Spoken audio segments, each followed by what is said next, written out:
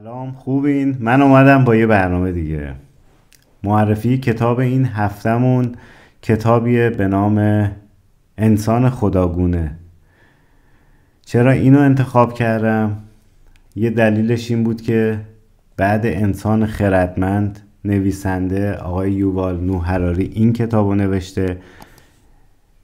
ادامه اون انسان خردمنده یعنی اونو می‌خونین باید اینم خونده بشه. دوما الان عصر تکنولوژیه و این کتاب داره ما رو از تکنولوژی میترسونه. چجوری؟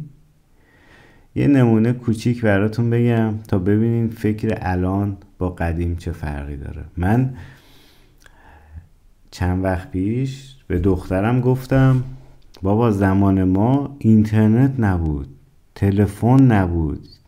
اگرم بود مثلا یکی تو محل داشت همه فامیل زنگ می‌زدن به اون اون میومد صدامون می‌کرد.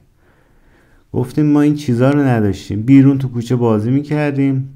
برنامه کودکی هم نبود دو تا کانال بود. نیم ساعت تا یک ساعت هم در 24 ساعت برنامه کودک داشتیم. نمی‌تونست درکش کنه.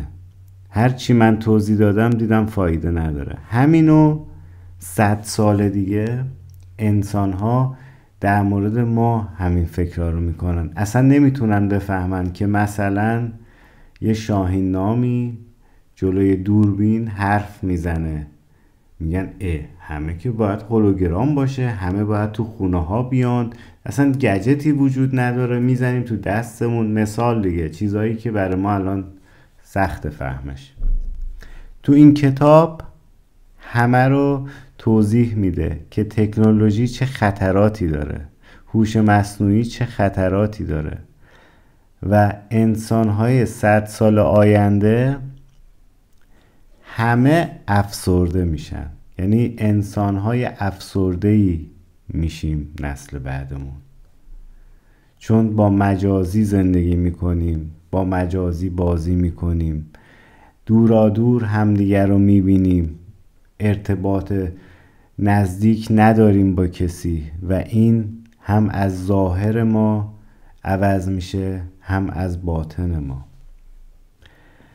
پس این کتاب انسان خداگونه رو از توی اینترنت تهیه کنین و چاپ کنین. پی دی افش فراوونه.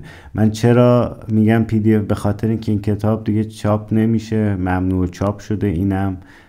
گیر آوردنش هم خیلی سخته. حالا تو ایران نمی‌دونم ولی تو خارج از کشور خیلی سخته. تا بعد.